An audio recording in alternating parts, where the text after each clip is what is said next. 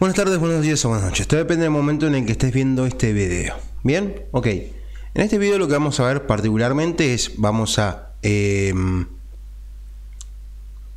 vamos a hacer una especie, una, especie de prueba de sonido. Vamos a ver eh, el- qué calidad de sonido podemos llegar a sacar un micrófono. Este micrófono que tengo aquí delante. Este micrófono que yo tengo ahí delante es un Trust Star ZZ, básicamente Stars, diría.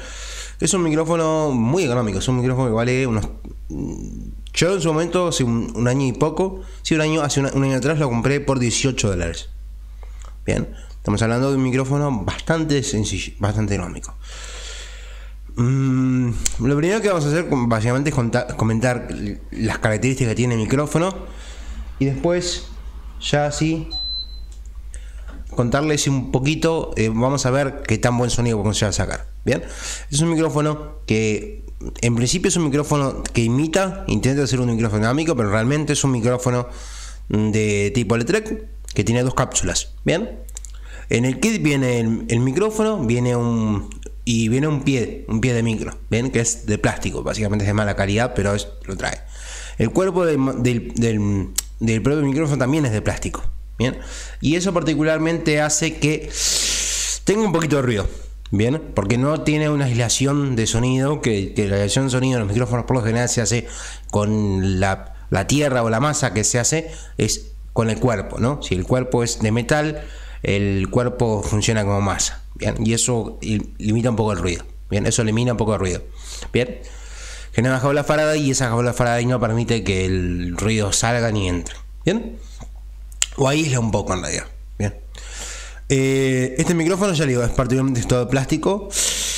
Eh, tampoco podía esperar por 20 dólares, no podía esperar, no, no, no podías esperar un micrófono de, de no sé, de no sé, de, de metal, ¿no? Es un micrófono de plástico, bien, al fin y al cabo.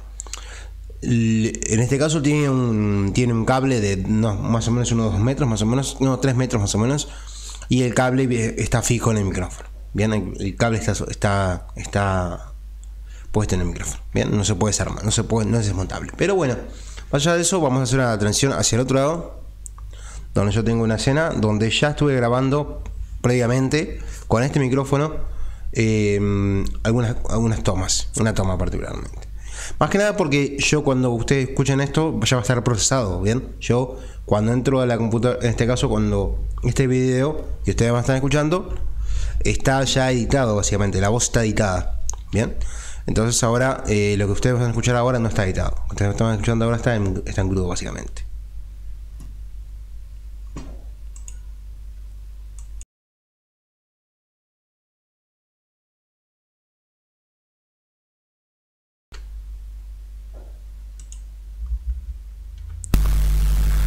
Buenos días, buenas tardes o buenas noches. Todo depende del momento en el que este video.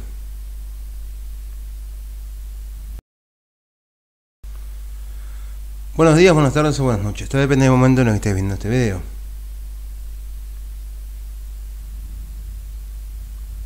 Ok, ahí dejamos un espacio en blanco y ahora vamos a seguir grabando en este caso.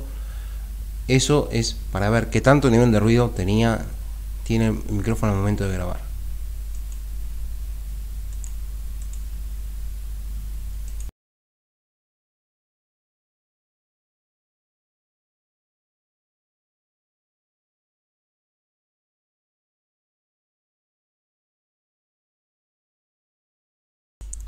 Decía, voy a mostrarles particularmente cómo tengo en este momento configurado el audio. Bien.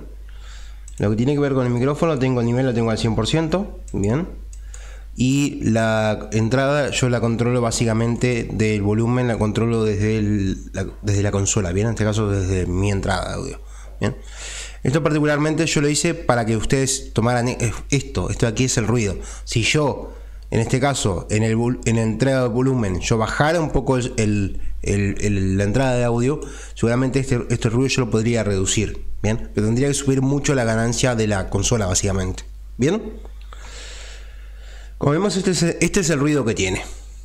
Vamos a ver, vamos a escuchar un poquito de nuevo. Yo, lo que pasa es que yo desconecto el micrófono para que no se me mezcle el audio de la computadora con el audio del micrófono.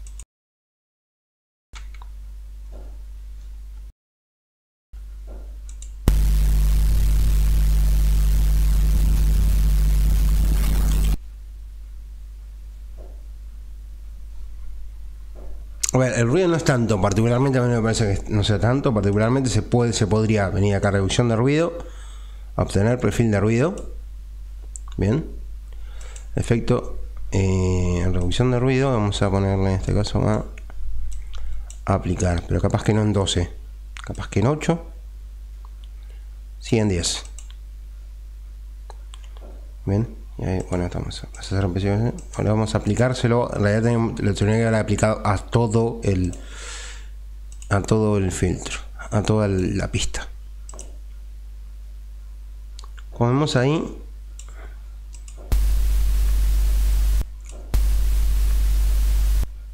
sigue habiendo ruido, pero es un poco menos. Capaz que podía aplicarle otra vez, en este caso una revisión de ruido, en vez de 12 vamos a ponerle de 4 más. Vamos a ver si soporta 16. Entonces que no quiero que se, no quiero que se robotice demasiado la voz. Bien, al aplicar este tipo de efectos como reducción de ruido puede pasar que la voz se, se, ponga más robótica. No, y yo no quiero, no quiero eso. Vamos a escuchar ahora. Buenos días, buenas tardes o buenas noches. Esto depende del momento en el que estés viendo este video. Ven como les decía, ahí la, la voz queda muy robótica realmente. Bien, entonces vamos a deshacer y bueno, se va a ver un poco, va a haber un poco más de ruido, que sería esto. Pero no está mal realmente, o sea, es poquito el ruido que tiene. En este caso yo lo que podría hacer sería, en este caso, eh, silenciar audio. En las partes donde, hay, donde no hay sonido, silenciarlo. Bien, en el menú especial, silenciar audio. Y en la parte de la voz, la parte hablada, sí va a haber, eh, sí va a haber, eh, también se va a ver el ruido, básicamente va a estar el ruido, pero bueno, nosotros vamos a lograr que dentro de todo estamos limpiando bastante. Bien. Ya digo, el problema que tiene este, este micrófono en particular es eso, es que mm, el ruido es un poco alto, bien, el nivel de ruido es un poco alto y eso no está bueno al momento de grabar. Pero eh, ahora vamos a escuchar más o menos como daría. Vamos a amplificar incluso. Vamos a ver si nos deja amplificar. No, no me deja. Tengo, está bastante alto. Capaz que pegamos una compresión para que quede un poco mejor la voz. Ahí por ejemplo. Vamos a escuchar así como está.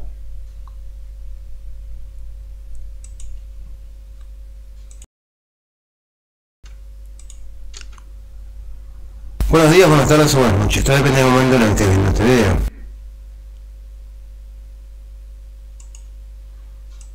Bueno, esto lo podía eliminar.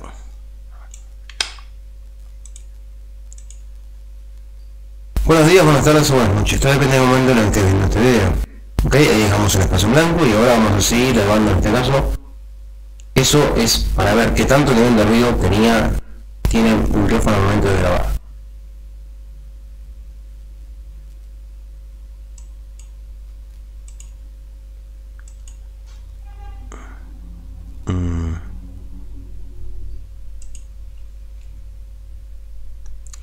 Bueno, como... Y ahora sí, vamos a volver para este lado. Volver para este lado. Ok. Bien, en cuanto a lo que tiene que ver con el, con el sonido del micrófono... Mm, bueno, yo hice una... Realidad era para mostrarles cómo suena el micrófono. A mí particularmente para mejorar eso yo tendría que agregarle un poquito más de graves, o sea, o, sea, ecualizar algunas frecuencias, eliminar frecuencias que no van, ese tipo de cosas. Eh, limpiar un poquito más el audio quizás, pero la idea de este video en realidad era eso, era mostrarles el sonido que se puede lograr con un micrófono muy económico realmente, que es un kit, viene el micrófono, viene el, trípode y ya viene básicamente el, pie de micro, básicamente un pie de micro de chiquito, para mesa nomás, este, que tiene un sonido interesante, tiene un sonido interesante. Mm, ¿Qué le falta? ¿Qué puntos flacos yo le noto al sonido? Quizá le falta un poquito más de graves, o sea que los graves sean están como muy apagados y un poquito más de sensibilidad también. O sea, es un micrófono que no tiene una buena sensibilidad, es un micrófono que tiene no, no tiene una buena sensibilidad. Entonces, la voz queda un poco diluida, queda como diluida en el micrófono. No suena del todo bien. Pero si la, a si la idea es utilizarlo para voces, únicamente para hablar, y en este caso, que es lo que estoy haciendo yo ahora, es para para diálogo, así como para una locución, pero capaz que no una locución, sino para hablar simplemente. Es un micrófono que tiene un sonido bueno, bien. Por el precio que vale, es un micrófono que vale, que, que está bien como suena, bien. Ya digo, el detalle, muchos, muchos de los efectos que tiene se lo podemos achacar a la construcción, porque particularmente al ser de plástico, y en este caso las cápsulas que no son cápsulas de ultra alta calidad tampoco, son cápsulas comunes, ¿bien? Pero en este caso al tener dos cápsulas, básicamente lo que hace es que logra un sonido bastante interesante por el hecho de que está tomando dos veces el audio, ¿no? Toma dos veces el audio y lo mezcla básicamente. Pero bueno, eh, en realidad el detalle es que son dos, dos, dos cápsulas diferentes. Entonces toma una toma más los agudos y otra toma más los medios y los graves, seguramente o algo por el estilo. Pues son cápsulas diferentes. Pero bueno, debo decir que particularmente mm, es un micrófono que vale la pena. Pienso yo que vale la pena. Eh, por el costo, por lo que vale, realmente vale la pena. Eh, yo particularmente este, este micrófono lo acompañé siempre de ser posible con una interfase, pero eh, también se podría grabar sin ningún problema eh, con, la, con el audio, con la entrada del micrófono de, la computadora. Bien, también tengan en cuenta en este caso que eh, van a tener que toquetear, en este caso van a tener que toquetear el parámetro que es el es la entrada, bien, por eso, por eso yo digo que de ser posible es una interfase, bien, porque depende del lugar también y depende de qué tanto ruido haya en el ambiente, eh, puede haber, o sea, ese, ese, ruido se puede agrandar incluso un poco. Entonces, ahí normalmente lo que, lo tenemos que hacer es bajar la, bajar la entrada, bien, la entrada del micrófono. Capaz que en vez, yo tenía 100 pues simplemente para que escucharan el ruido que tiene. Pero capaz que lo, lo, ponemos a 30 o a 40, bien.